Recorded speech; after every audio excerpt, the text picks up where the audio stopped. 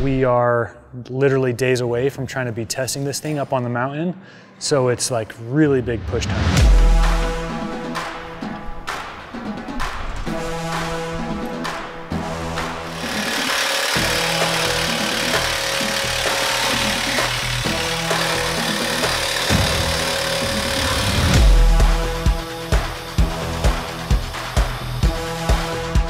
We're trying to get all the, the plumbing, all the electrical, all the systems in place and operating. Um, that way we can hopefully get on a dyno before we go up the mountain.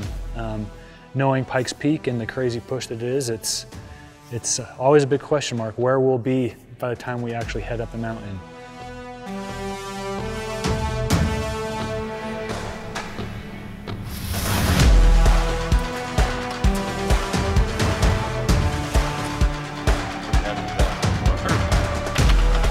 So OP will never tell you this. He's largely been the, the main fabricator behind everything turbo that you see here.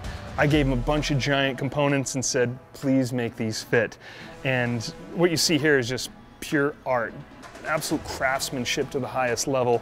Every single fitting, weld, angle, all meticulously planned out, thought out, and executed to perfection. So I get, I get the pleasure of driving a piece of art up America's mountain at Pikes Peak this year. Um, and I couldn't be more proud of the team and all the skills that it takes to build something like this. It's just, it's breathtaking. You just have to see it in person to really appreciate it. I believe there were 69 pie cuts. It was either 69 or 74. Either way, so many pie cuts that uh, I got much better at welding pie cuts by the end it's definitely going to be uh, an attention getter. We'll say that. You can't rely on air to cool things at Pikes Peak. There's no density. It doesn't remove heat as well as it does at sea level. So um, we're taking the extra effort to make sure that we can isolate everything. We're going to have issues. We don't know what those issues are yet, but uh, Pikes Peak's bound to find them for us. So as we were initially kind of talking about the, the power levels, the targets we were trying to hit with this car, especially with the challenges of the altitude at Pikes Peak, we knew that we had to go compound turbo. Compound turbo, some people might think of it as twin turbo.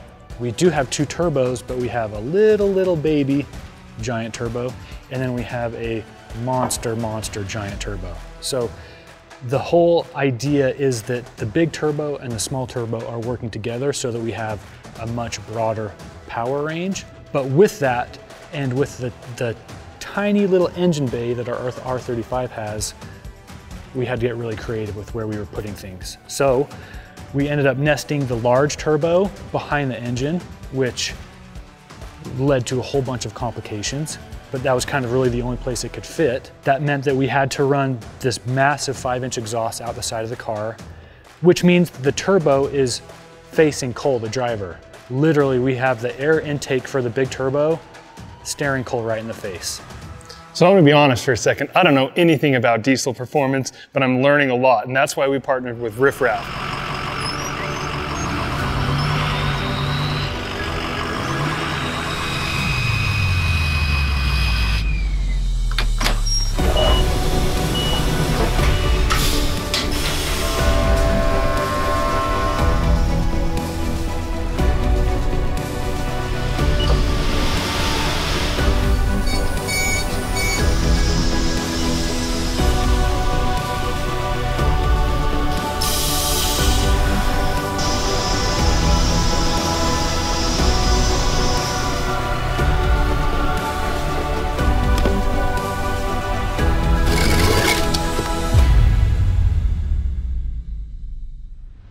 Riff Raff builds 100% made in America parts for power strokes. That's their specialty. Um, started with the 7.3 and the 6.0. Uh, now we're developing more and more parts every single day. Uh, and no better way to test those parts than to take them and race them and push them to the absolute limit. And that's what we're doing. In order to perfect your power stroke, you've got to go and push the limits. Um, and that's what we're doing with this build.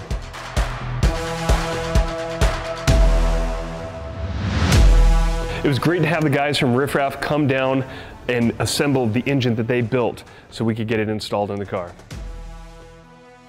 Again, this is kind of their specialty, so it was nice to have them in the shop with us, making sure that everything was buttoned up on the engine, uh, getting the transmission ready, that way that we could put it in the engine bay knowing that it was touched by the best hands.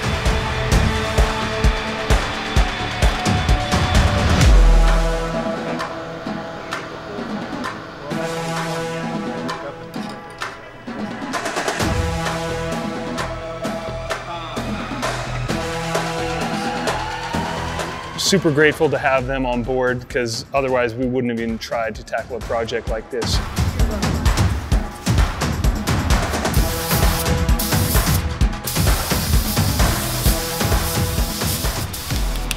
That's green. That's real green. Green is mean, which is what the Kawasaki guy said, so I believe it.